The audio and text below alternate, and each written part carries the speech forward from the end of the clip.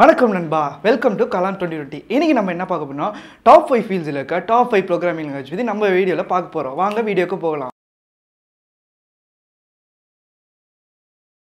அதாவது ஃபஸ்ட்டு பிளேஸில் யார் இருக்கானா வேணாம் கடைசியிலேருந்து வரும் கடைசியில் யார் இருக்கானா சி ப்ரோக்ராமிங் லாங்குவேஜ் அது fifth position so C programming language வந்து ஒரு ஆல் லாங்குவேஜோட பேசிக்ஸ்னு சொல்லலாம். ஸோ இந்த ப்ரோக்ராமிங் லாங்குவேஜ் தெரிஞ்சாதான் மிச்ச எல்லா ப்ரோக்ராம் லாங்குவேஜும் நம்மளால ஈஸியாக கற்றுக்க முடியும். ஸோ அதை கண்டுபிடிச்சவர் டென்னிஸ் ரிச்சி அதாவது ஆயிரத்தி தொள்ளாயிரத்தி எழுபத்தி ரெண்டாம் ஆண்டு இதை கண்டுபிடிச்சாரு. இதை கண்டுபிடிச்சது நல்லது தான் பிகாஸ் அந்த காலத்தில் அசம்பிளி லெவல் லாங்குவேஜ் ஒரு கோட் இருந்தது. ஸோ அதை வச்சு தான் டெவலப்பர்ஸ் வந்து ஒரு மைக்ரோ ப்ராசரோ எல்லாத்துக்கும் ஒரு கோட் எழுதுவாங்க. பட் அது வந்து ஒரு அடிஷன் ப்ரோக்ராம் எழுதுறதுக்கு ஒரு பத்து லைன் வரும். ஸோ அதை அது டிஃபிகல்ட்டாக இருக்குன்றதுக்காக தான் நம்ம சி ப்ரோக்ராம் போனாங்க. சி ப்ரோக்ராம்ன்றது ஒரு மிடில் லெவல் லாங்குவேஜ் ஸோ அது ஈஸியாக டெவலப்பர்ஸால் அப்சர்வ் பண்ணி ஈஸியாக எழுத முடியும் கோடிங் ஸோ அதனால தான் நம்ம சி ப்ரோக்ராமிங் லாங்குவேஜ் போனோம். டாப் ஃபீல்ட்ஸில் ஒரு ஐஓடி அது இன்டர்நெட் ஆஃப் திங்ஸ் அந்த ஃபீல்டில் இது முக்கியமாக இட இடம் பெற்றிருக்கு ஸோ அதான் இதோட அட்வான்டேஜ் சொல்லுவாங்க. ஃபோர்த் பொசிஷனில் யார் இருக்கானா சி ப்ளஸ் ப்ளஸ் தாங்க. ஸோ சியோட எக்ஸ்டென்ஷன் சி ப்ளஸ் ப்ளஸ் சியோட extension C plus plus plus plus எதுக்கு ஆட் பண்ணியிருக்காங்க ஸோ வாங்க போகலாம்.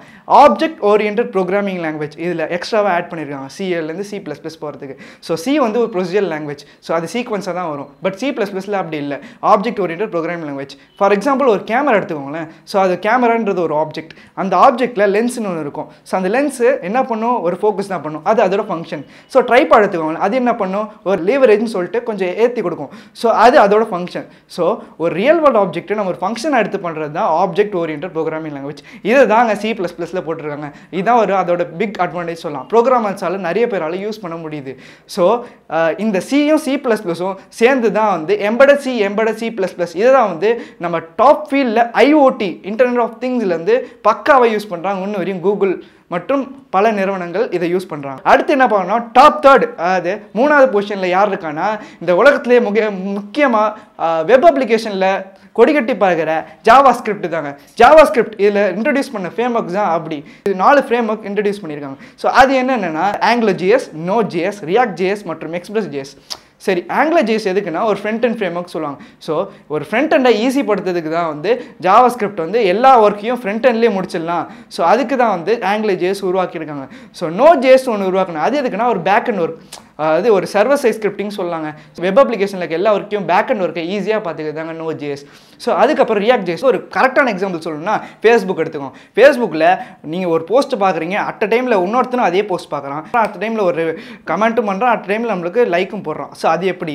அது வந்து ரியாக்ட் ஜேஎஸ் டெக்னாலஜி தாங்க. அது ஒரு ஜேஎஸோட ஃப்ரேம் ஒர்க்ஸ் அது மட்டும் இல்லாமல் எக்ஸ்பிரஸ் ஜேஎஸ் அதுதான் முக்கியம். அதுவும் ஒரு பேக் அண்ட் தான். நோட் ஜேஎஸ் மாதிரி தான். ஸோ அதுவும் யூஸ் பண்ணுறாங்க ஸோ இதனால தான் வந்து ஜேஎஸ் இன்னும் கொடிக்கட்டி பறக்குது. வெப் அப்ளிகேஷன் டெக்னாலஜியில் இன்னும் அது கொடி கட்டி பறக்கும். டியூட்ஸ் அதுக்கப்புறம் என்ன வரப்போனா டாப் ஃபஸ்ட் அண்ட் செகண்ட் ரெண்டு பொசிஷனும் ஷேர் பண்ணிக்கிறது பைத்தான் அண்ட் ஜாவா ஸோ ரெண்டு பேரும் தான் ரெண்டு வெயிட்டேஜும் வச்சுருக்காங்க.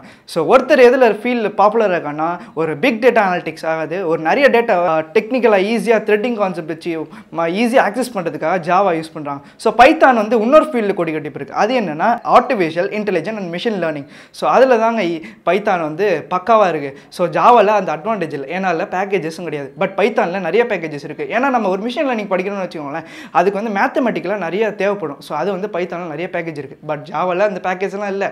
ஸோ அதனால தான் ஜாவா வந்து இங்கில் கம்மியாகும். பட் பைத்தானில் அவ்வளோ ஒரு பெரிய டேட்டாவை ஃபார்ம் பண்ணி ஈஸியாக ஆக்சஸ் பண்ணுறதுக்கு இன்னும் அதனால் எந்த பேக்கேஜும் அவ்வளோ இல்லை. ஸோ அதனால் ரெண்டுமே ரெண்டு வெயிட்டேஜ் இருக்குது பட் எப்போ வேணாலும் எது வேணால் ஃபஸ்ட்டு வரலாம். பட் இப்போதைக்கு பைத்தான் தான் ட்ரெண்டிங்கில் இருக்குது ஏன்னா அது வந்து ஈஸியாக டெவலப்பர்ஸால் வந்து அப்சர்வ் பண்ணி ஈஸியாக கோட் பண்ண முடியுன்றதுனால.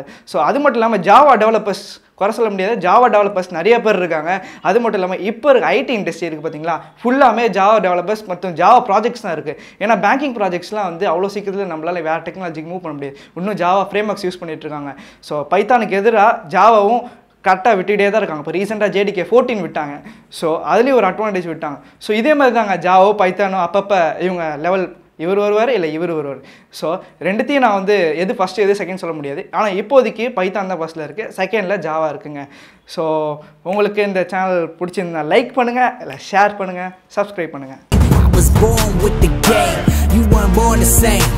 I do this for my people, I don't do this for the fame. You keep the chains, keep the change, just give me my reign and leave me my lane and just remember my name.